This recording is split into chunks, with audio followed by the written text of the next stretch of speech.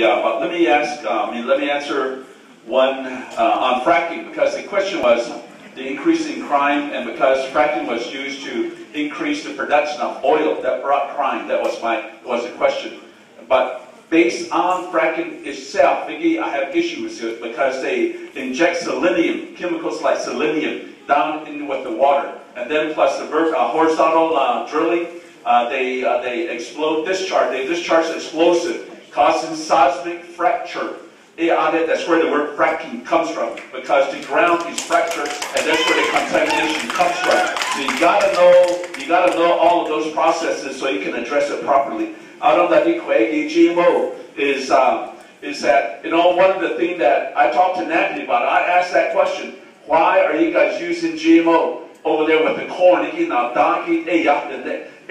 Because he said we we are in the corn market and we sell it out to the